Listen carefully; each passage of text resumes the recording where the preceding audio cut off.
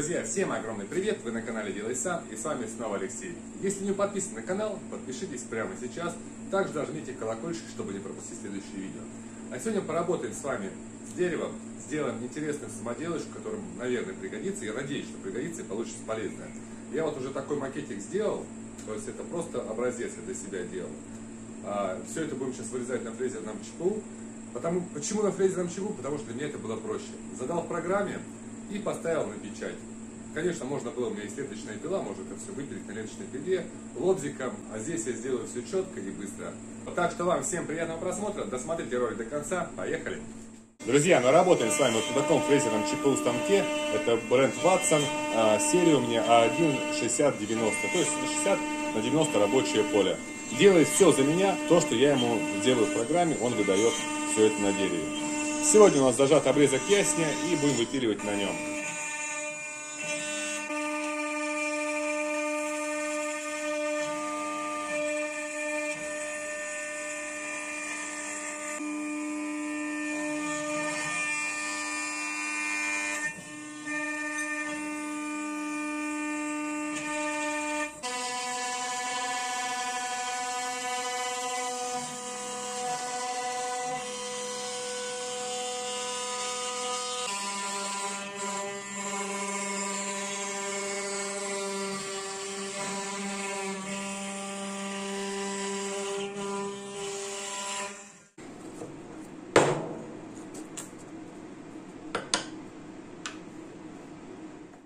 По итогу имеем мы с вами три такие вот запчастюльки. А, вот это, по идее, должна быть чуть-чуть побольше. Она лежала так, я не рассчитала размер заготовки. Ну, это ничего страшного. То есть, она плотненько вообще вот так вот заходит. И вот так она будет ходить. И одна деталька вот так у нас тоже будет крепиться.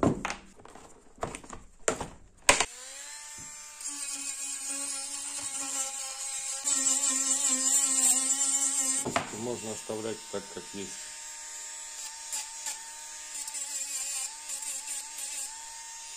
Общем, две вот такие вот ламелечки я выпилил.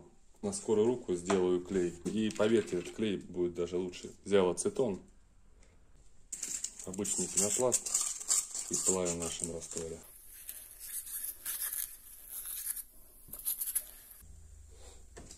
Теперь наносим сюда. ламелечку сразу прижимаем.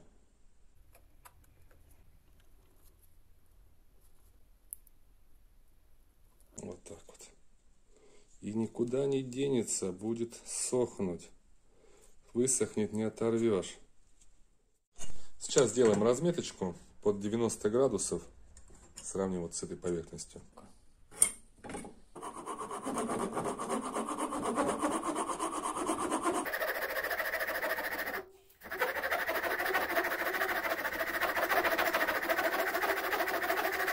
Ну, я думаю, будет достаточно. Сделаем сейчас отверстие сквозное. Сделаю сначала сверлом на 6, почти сквозное отверстие. И потом вот это расширю уже на 8.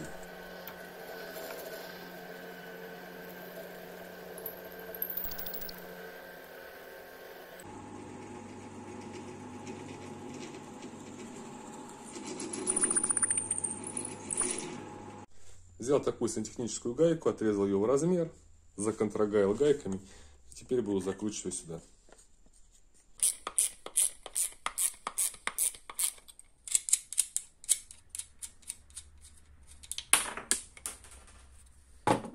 Тем временем клей наш подсох. То есть вот так у нас ползночек наш ходит. Здесь сейчас сделаю три отверстия и одно отверстие здесь. Потом у нас такая это идет. Здесь сделаем это отверстие сквозное, сюда можно было притягивать. Сейчас буду сверлить сверлом троечкой.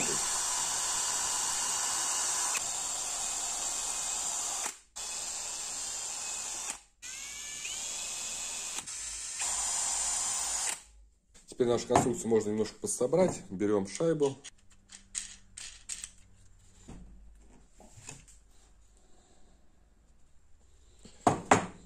Сюда вот на направляющую нашу приклеил кусочек алюминия.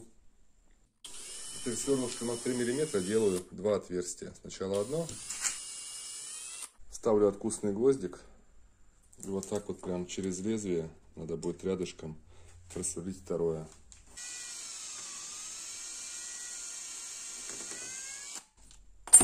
Так они. Гвоздик немножечко отогнул стороночку. Теперь вставляю второй.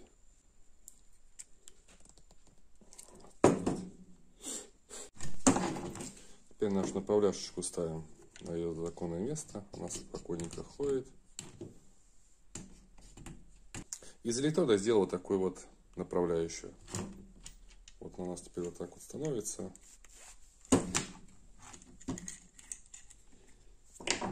И можно затянуть ее при помощи наших саморезов.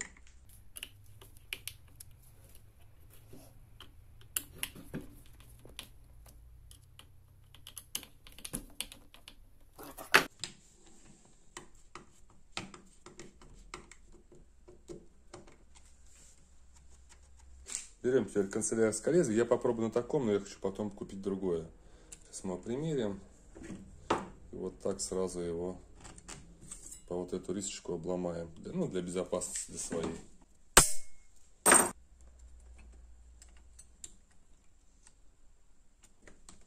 Затянули. Все, конструкция у нас готова.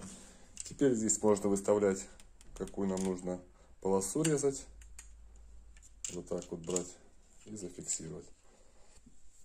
И все у нас стоит на месте.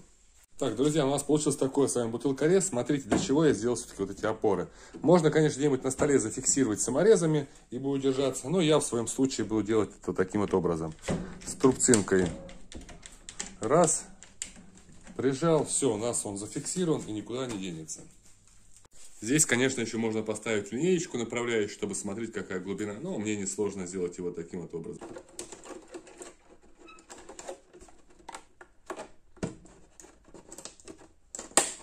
Так, вот завели мы ее. И теперь можно спокойно одной рукой тащить бутылочку резать.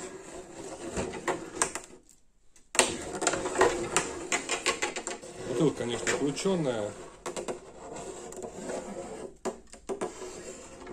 Кажется, что неровная полоса идет. На самом деле полоса ровная.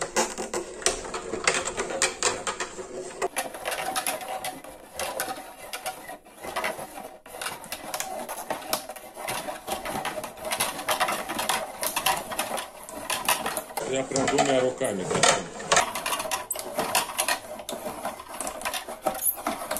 У нас получается полоса. Давайте попробуем побольше, пошире ленту сделаем. Чуть-чуть прослабим, чуть-чуть опустим и затянем. Завели. И у нас вот идет толстенькая полоса.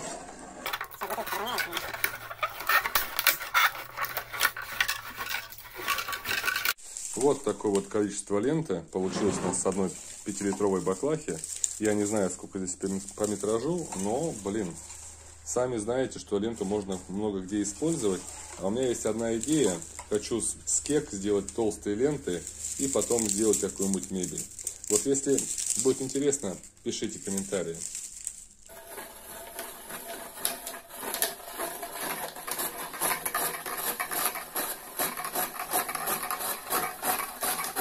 Вот смотрите, какая лента получается прям вся одинаковая. То есть видно, я попробовал, поставил сейчас другое лезвие, трапециевидное. Вот такое лезвие, с ним еще лучше. Двумя руками делаю.